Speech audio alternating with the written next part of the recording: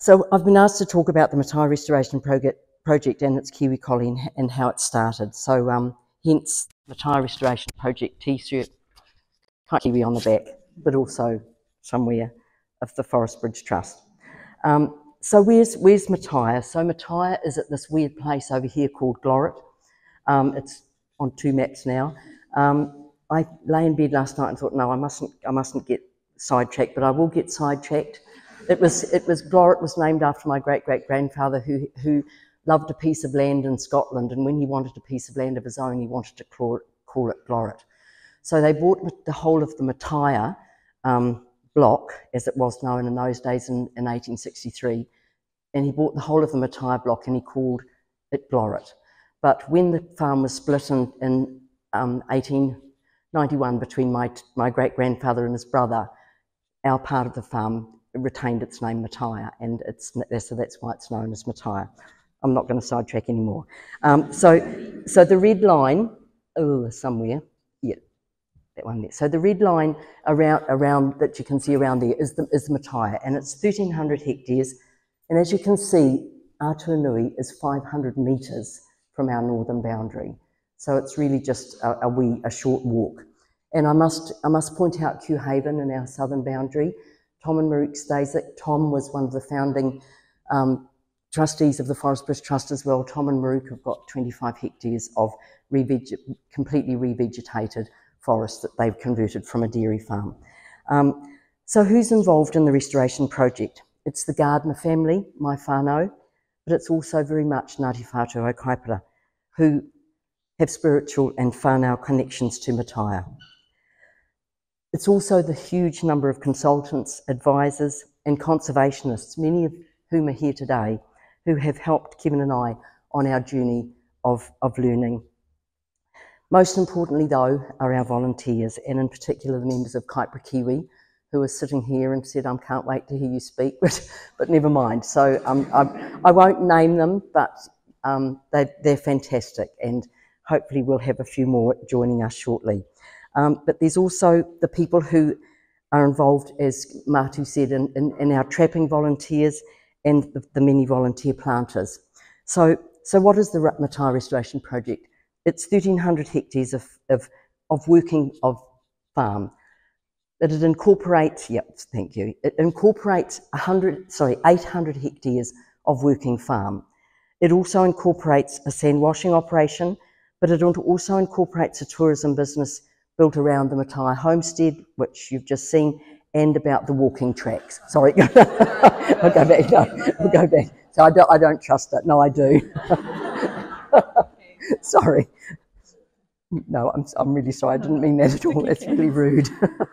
but anyway, so the tourism business built around the Mataia homestead and around the, the walking tracks that are part of Mataia as well.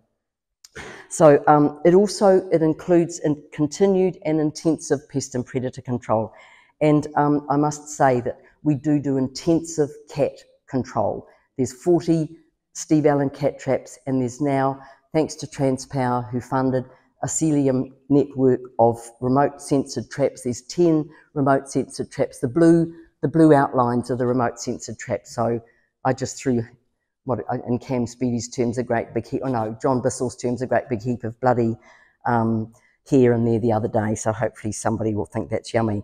But um, there's also a bait station network, um, and I'll talk a wee bit about that later, but also involved, as Matu said, in riparian planting and fencing and planting.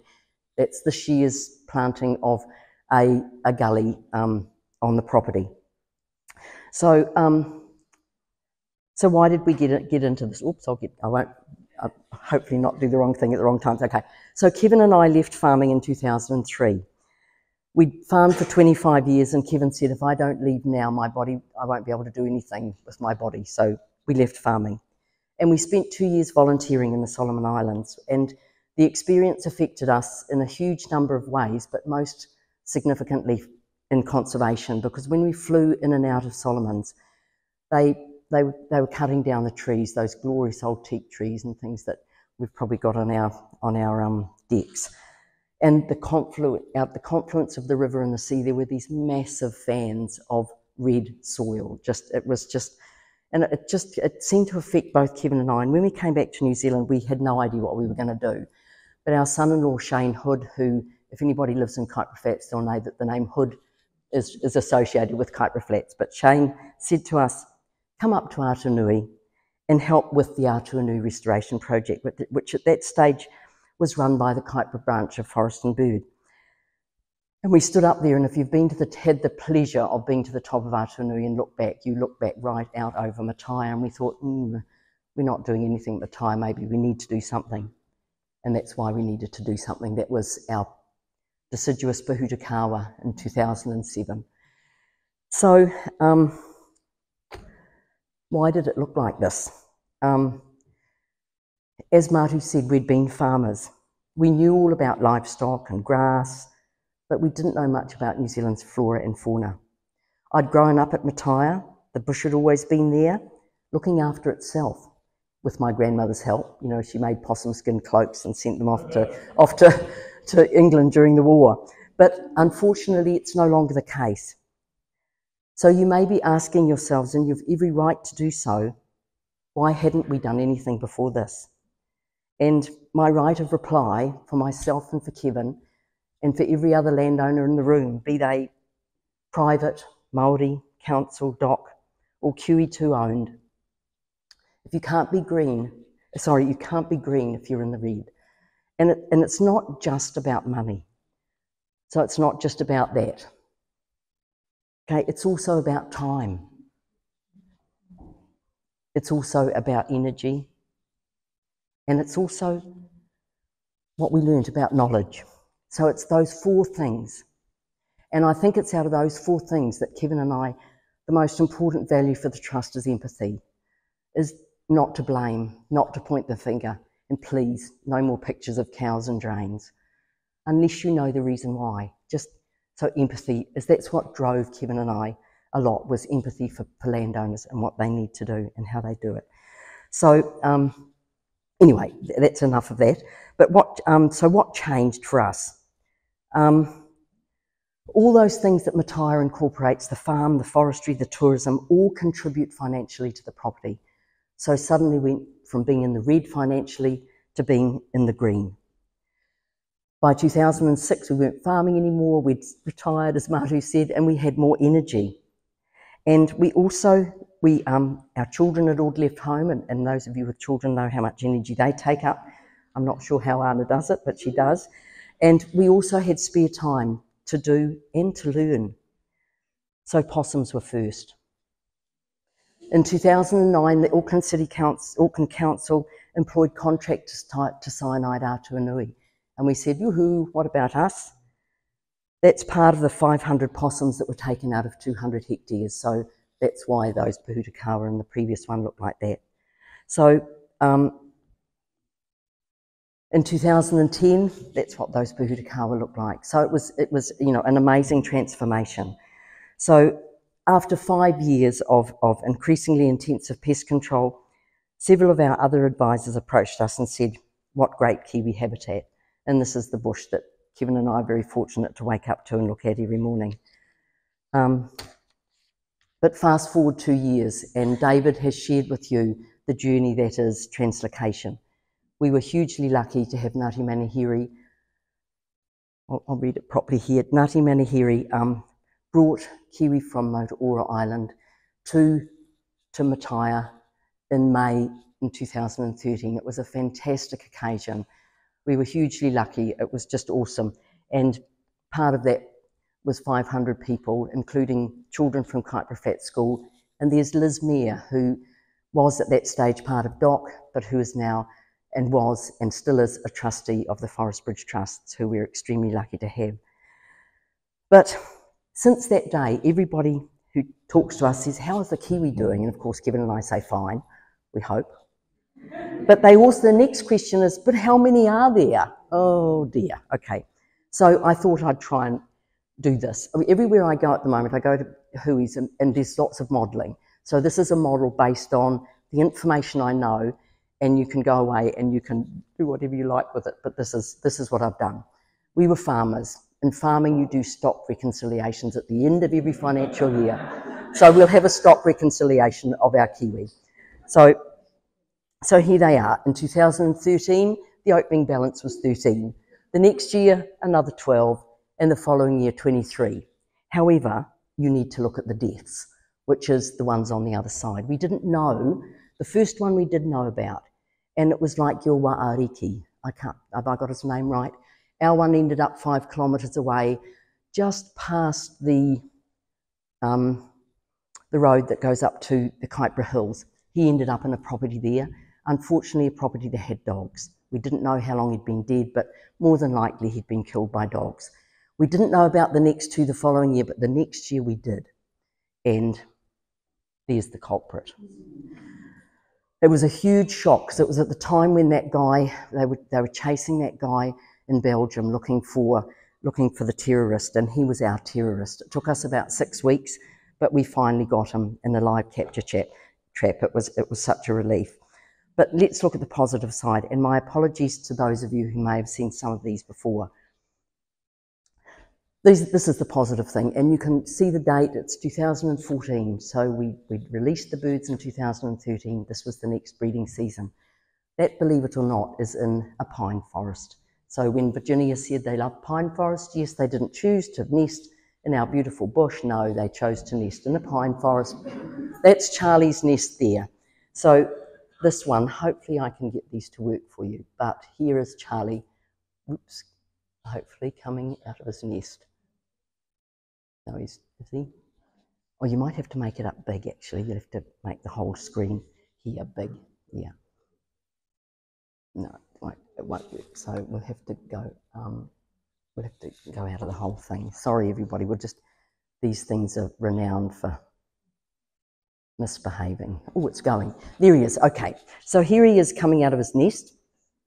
They nest underground, and there he's covering. He's covering the the hole mostly to disguise it so nobody will come along and see that there might be something in there, but also for temperature control. But if you can just he's out of his nest now and we will move on because otherwise I'll get that terrible bell in a minute, which is a bit scary. Um, I'll let, I'll trust her this time. She can do the next bit. So here he is. Oh, he is coming. He's already moving. It's all clear we've got it happening. So here he is coming back to his nest. You can look at the time again, 21.49. They're out for about, maybe about three, three, three and a half hours when they're nesting. You can see the transmitter on his leg on the left. You can also unfortunately see he's got a band on the right leg, and I always say that actually the females are always right, but unfortunately not in this case. The males are right, so the band is on the right leg. And this is um, what this guy does. He um, he spends during the breeding season. He can he can lose up to a five 500 grams. He's normally about two kilos, but then he's about um, at 1.5 here. This is well, we, have gone a bit fast. We won't do this one. We'll, leave, we'll stop this one for now. The last one was his wife, Taran. Well, I shouldn't say that. His mate, his mate Taranaki. Taranaki, you could tell it was her because she had a white, a white band on her on her leg. She's she's just coming, um, presumably to check up on him. Everybody thinks, oh, the poor old male. He's sitting there for 75 or 85 days on, on that one nest. What is she doing? Just hanging about. But she, to do that, for him to be sitting there, she's laid two 300 gram eggs, so 600 grams within three weeks. So she's gone off to get to eat, to get build up her strength again, because believe it or not, in 75 days, once once he's finished and he's um, that egg is hatched, she will drag him off to her next nest. And there's often up to three a year. So Francis who is the great grandfather of some of the people in this room, is, is one of our most productive birds, as Francis was. So he had many, he's had many offspring, and one year he had four, four um, clutches of, of um, birds altogether. So anyway, moving on to the next slide. Thank you. Um, so here, sorry, that's not the right. That's the, not the right one. It's the one before. Sorry. That's if we can get that one going. So yeah, that's it's going now. So I'll just leave. So often, so I, as I said, in, in mostly in the first clutch, They, that's not just one egg, but as you can see, coming up, coming, coming, coming, is two. And I'll leave, I'll leave this one running. This was the first video footage we had of our kiwi, and we were just so delighted when we got home and, and saw this. It was fantastic. But once again, do check the date. It's the 16th of September 2014. So they're just they're gorgeous. But so we'll look at the next one. And the most important thing is to look at the date, which is the 15th of September 2014. So cats are a huge issue for us here at, at Mataia. There's, there was a second cat in the same, on the same nest about a week later, and my son-in-law spent a day tracking and killing it. It was a five kilogram male. So yeah, so it's a, it's a huge issue. And if anybody says to you, feral cats aren't an issue, then just, just remember this photo. Okay, so um, what am I up to? Um, okay, so back to the Kiwi reconciliation. So based on, you will go to the next one, thank you, Claire. So, so based on all of the information that we know about Kiwi births and deaths, we can model the population so that by the end of 2015, we can assume that there were 37 birds or say 15 pairs. So in 2016, why only nine chicks from 15 pairs? When I've told you the female can lay up to six eggs, but only 65% of those will survive to hatch. And that's because kiwi eggs are very um, um, porous and they often get bacterial infections, so only 65% of the eggs will actually survive. In areas trapped for mustelid control, and this is really depressing, but please don't go away with this message because it's not, it's not a good message, but you've probably heard it before.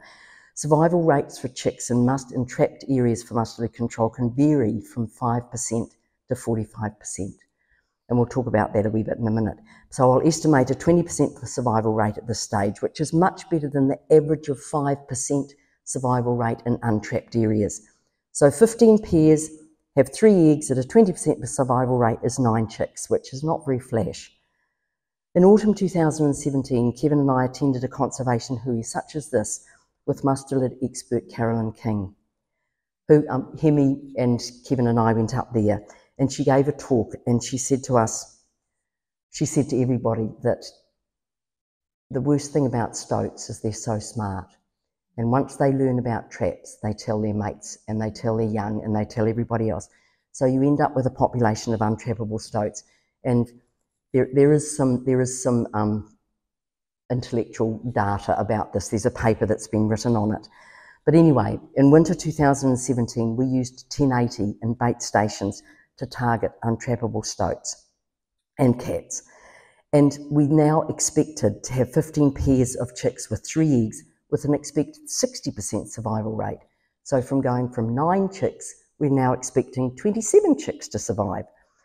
By 2018, we assumed that juveniles start breeding. So now we've got 19 pairs, and I say 2019 because probably after about two or three years, the juveniles will start breeding. In populations such as at Pounui, where they're very, very high population, it may take longer, but with our population not being very big, they probably started breeding quite quickly. So we assume the juveniles start breeding, so now 19 pairs have three eggs each at say a 40% survival rate, so now we've got 22 chicks. So using these assumptions, and with another round of 1080 in 2020, which we did manage to do in between COVIDs, by 2022, we'd expect to have 278 kiwi at Mataia, and at the end of this year, around 300. So I'm not surprised that they're making their way out. They're probably thinking that it's getting a bit overcrowded. But there's a couple of thorny issues that we need to address when we're thinking about this modelling. Um, one adult breeding female has a huge impact on a population. Over the 60 odd years of her life, she's capable of producing 340 eggs. And at a 60% survival rate, that's 222 chicks. So one kiwi death, one female kiwi death, boom. So the seven up in Opua Forest, if half of those are females, that's 660 chicks that won't ever live. So adult deaths must be avoided. Chicks, yes, if we can possibly, but adult deaths most importantly. So how do we know that we're not losing the adults that we did at the beginning? We don't. but we do everything possible to avoid it. We've got a very strictly enforced no dog policy at Mataia. Um, and if you're a neighbour of ours, you'll know how strictly strict that is. Some of them don't have dogs anymore. Dogs are the major, sorry.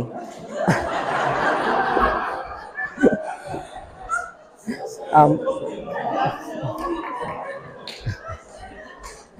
um, dog, dogs are the major cause of Kiwi deaths in Northland, as I already said. We've so we've, as I said, we've got an absolute zero tolerance for wandering dogs and wandering cats. We we shoot first and ask questions later, and we've never had any issues with people who we have had to do that to. I think everybody understands. They've known us for long enough. So we offer Kiwi avoidance training to our neighbours with dogs. We've recently, as I said, set up a remote live capturing cat network specifically for cats and ferrets. We've got an intensive motion sensor monitoring camera network. And finally, after three years, our wonderful Kaipara Kiwi people have been hard at DOC to get a permit to, to put transmitters back onto our Kiwi. I know David's looking forward to the day when they don't have to have transmitters on Kiwi, but unfortunately, it's still our best way of knowing if anything's absolutely, absolutely happening. Because unfortunately, Kiwi call counting is great, but it, it's too far apart. Um, but in, in, just saying that, I know in David's talk he mentioned the fact that, that rat control and possum control isn't absolutely vital to Kiwi um, to, to Kiwi surviving. But remember, Kevin and I were farmers, and so you measured grass and ki kilos of dry matter per hectare. Some of you might know what that means, but those of you who don't, it means how much material the, the livestock have got to eat. And for us, it didn't seem worth having kiwi unless you could feed them properly. You weren't going to breed or do anything properly if you didn't feed them properly. So that meant getting rid of rats. So that's why we've got that big bait station network, and that's why we bait every year, and we try to keep our population of rats down to about five percent, which is it's pretty reasonable, really. So that that's our the other thing that we do. But anyway, just getting on to um, how's my time? You're going to ring a bell in a minute. Oh, great. Okay. So. Um, Okay, so, so we call count as Virginia said, and somewhere there's a graph coming up which shows us um, how we're doing. And as Virginia said, up above five is a high population. And Sue, who does our call count monitor, um, reading of our cards, sent me an email the other day to say that it's now six point something. So it's, it's doing, they're doing fantastically well. So whether that relates to how many we've got, if, if 6.75 relates to 300 Kiwi, I have no idea. And unfortunately, nobody can tell us either. And where am I up to? Okay, so although Mataia is not a fence sanctuary, you can now see that the Kiwi have been able to leave, and we're absolutely delighted that it's happening. And we could never have done this if it hadn't been for the Forest Bridge Trust, who have enabled us, or not us, they've done all that. They've created this amazing this amazing um, buffer zone around Mataia. And because I couldn't find a better place in the presentation, Kevin and I want to say a very huge special thank you to the wonderful group of people who are now the Forest Bridge Trust. And um, your commitment to the vision and the mission of the Trust has been amazing. And we just wanted to, to make, make sure you, you received our thanks. And, and also to the many of you out there who, have, who are contributing to the, to the mission of the Trust, thank you too. Um, But um, the trust is not just about Kiwi, and yes, as, as Anna mentioned, we were extremely fortunate to attract a huge pot of money from Save the Kiwi via the Jobs for Nature funding. And yes, our focus has been on creating Kiwi habitat. But um, as Anna said in her introduction, so many other species benefit so well. And when I knew that John was coming and he was going to be talking, I had to, I had to bring this next, I hope it's the next one, the next one after that. It's this. and, hopefully if you can get it to play, if, if, you, if we can get it to play, um, these guys benefit. So there he is. Um, so we just we just we were delighted. That was that was one of the, the things from Virginia's fantastic work, and she's done a magnificent job. And that was just one of the results of of one of her from one of her cameras. But I finally wanted to reflect on the Kevin and I wanted to reflect on the theme of the hui, which was an amazing thing for the people who dreamt it up about building a legacy. And we thought for a while that it could be something concrete like this, wherever this is. The next one. This is what you would have seen in the paper, and it was fantastic. Kaipara Kiwi are wonderful people and have done a fantastic job, and it is a fantastic legacy. However, we're much, much more than that. And just to finish on the words of David Attenborough, it is surely our responsibility to do everything within our power to create a planet that provides a home not just for us, but for all life on Earth. So let a home for all life on Earth be the legacy for us all. Thank you.